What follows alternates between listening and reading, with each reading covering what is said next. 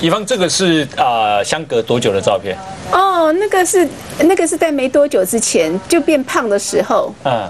那之前这是没多久，是不是？没多久。那个胖的是没多久，大概去年前年的时候。瘦的呢？瘦的呢？瘦的那个大概那是康健时候拍的啦。对，那个大概有十几年前。其实我是胖胖瘦瘦的，我永远是这样子。嗯嗯，我每次去去录节目的时候，其实非常感感激自己是个公众人物，因为每次录节目的时候，都听到摄影大跟我说：“老师，你不能再吃喽，我已经帮你拉最长喽。”那时候就压力。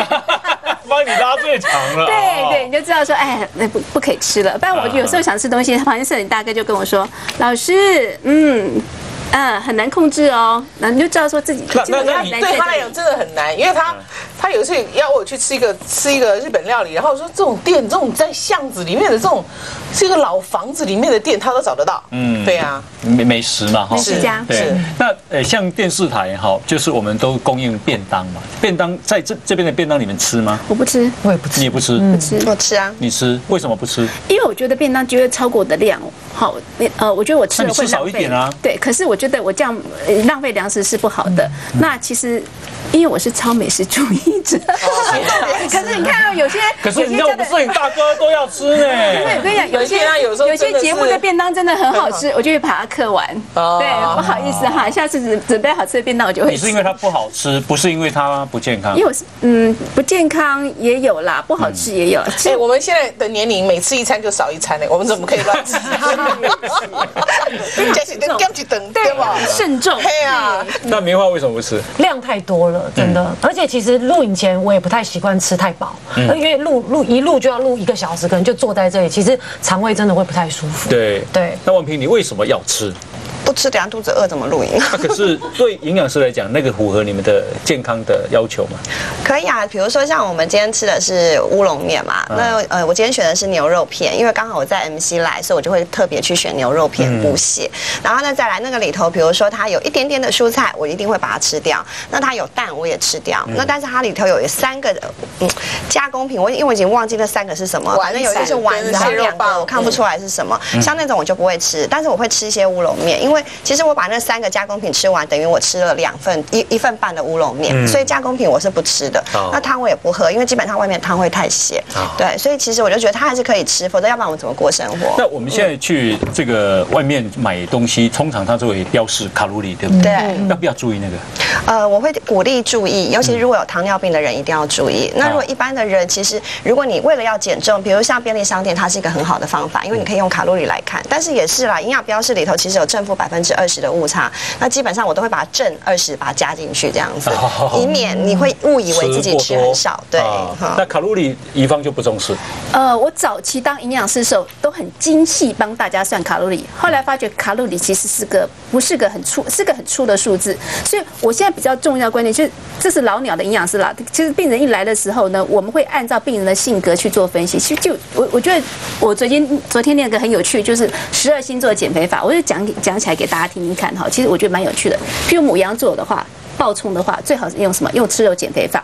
那吃肉哦，有有有有有，这边有一个吃肉，对，就是不限制肉类摄取量，尽量少吃，甚至不吃淀粉与糖类。糖类是什么？也就是饭呐，对啊，不一样嘛甚至水果都是。就是多吃肉，少吃饭，这是母羊座，母羊座为什么？这嗯，因为它暴冲性暴冲性格跟他的个性有关系。像金牛座是美食主义者，就不能吃甜食。那双子座呢，就叫他多称体重。然后巨蟹座的话呢，就是自己做哈，告诉营养师会跟他配合，就是你自己做菜自己吃哈。因为巨蟹座喜欢。做妈妈哈，那狮子座的话大概六天的减肥方式，那处女座的话六天的减肥方式，因为不要超过，对他没有耐心啦，不要超过六天。对处女座的话哈，就学法国女人吃一口吃一口吃一口，他就觉得哎满足了，因为处女座反正很龟毛的哈。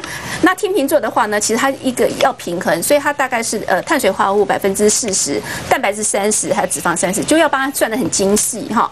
那天蝎座的话呢，哎很好玩，他真的很喜欢吃代餐，给他。不同的粉放在那边，他就泡一泡之后，他就很满足了。我发觉我女儿都是这样子，天蝎座真的是标准这样子哈。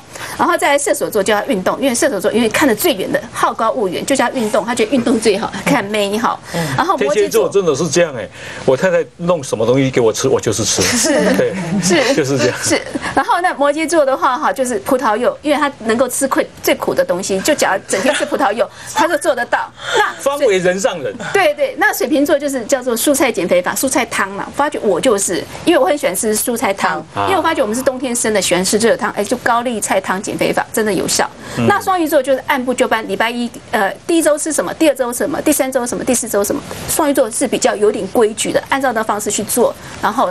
双鱼座都做得好，其实不同星座它其实减肥方式不一样，所以我们看病人看最后，我们会按照病人性格、性格病人的生活习惯去让他调整，因为这样才能做得久绝对不能是说啊你每个都一样，真是要克制化才有效。好好，那三天苹果减肥法，这个是谁谁供提供的？这适合狮子座啊，因为三天嘛。对，三天啦，他耐心只有三天啦。对，哦可是这嗯，这只能很短，它有点危险。对对，但是呃，譬如说我们前天吃大餐，对不对？那你第二天怎么办？其实我觉得第二天就啃苹果是最好，把前一天的热量清掉。嗯，一而且天最好。这个有一点危险，就是尤其是那种肠胃功能比较差，因为苹果吃多了，它会刺激胃酸分泌。嗯有些人曾经就这样一个礼拜都吃这种苹果减肥法，就到最后胃出问题、胃溃疡啊所以其实单一食物减肥法，我觉得可能不赞成对，在使用上真的那我有一个朋友，他是早上上班就只吃一颗苹果，他中餐晚餐吃吃的，只早餐只吃一个苹果，这 OK 吗？这样其实短时间来讲是没有问题。哎哎对，像我以前有遇过一个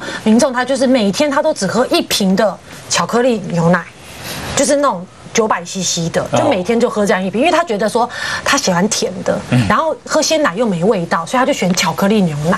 结果他喝了大概两个礼拜，他瘦了五公斤，好好高兴哦。就后来第三个礼拜、第四个礼拜就开始出现，可能生理期该来了不来了，然后。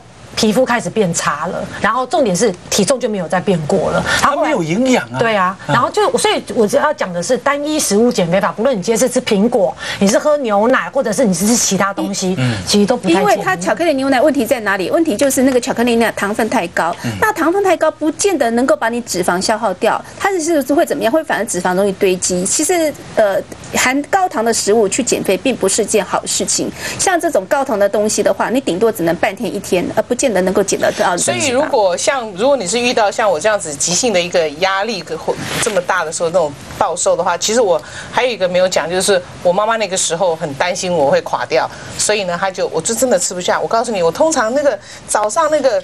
茶油拌面线，我是一个人可以嗑掉一碗，我就是吃两口，我就是真的吞不进去。OK，鸡汤我妈妈就滴那个鸡精，鸡精然后我那时候不是血红素太低，不知道莫名其妙的血红素就整个太低，所以我就。呃，大概连续三个礼拜吧，每天早上不是就是自己滴的那个鸡精，鸡精还有牛肉精，嗯，对，就是鸡精、牛肉精、鸡精、牛肉精这样子，你搞开所以那个还是要顾到，因为你真的不能吃的时候，那个瘦其实是是是是会紧张的啦。我觉得还是减肥还是要循序渐进，然后再就是说，我觉得晚餐少吃，对很重要。很重要那如果不然的话，就是你一定你晚餐有吃的话，你早餐不要吃，因为你早餐只要吃喝一点点。一点点牛奶，或者是豆豆浆浆，或者是白木耳。我那个，我觉得白木耳真的最棒，因为白木耳你知道为什么吗？虽然瘦，可是没有那个有钱就吃燕窝嘛，没钱就吃白木耳。白木耳是新鲜的白木耳。好，我就是炖炖红枣，对。对，然后冰糖，对，然后就每天早上一定吃一碗。其实他们家新鲜的话哈，你即使什么都不加哈，它味道都比一般干的好好吃。我去非洲也是看到八十岁老太太，我问她说：“你皮肤怎么那么好？你吃什么？”她说：“黑木耳。为什么？我我我讲个学理告诉你好不好？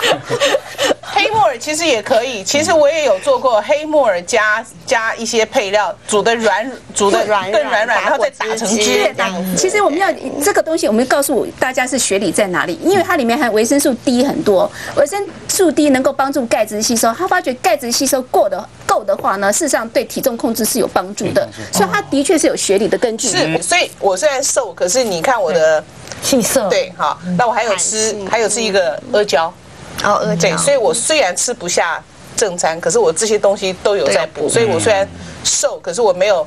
面黄肌瘦，对，没有到面黄肌瘦，所以我是觉得还是有，其实吃这些东西也都会饱、哎。嗯，对啊，对对，来我们但先是吃到燕窝吃饱有点恶心恶心了，太过分。燕。窝不能太多，只能早上吃一燕窝碗只能够吸收只有六十公克而已。其实你讲的那些胶质都多，其实都是胶质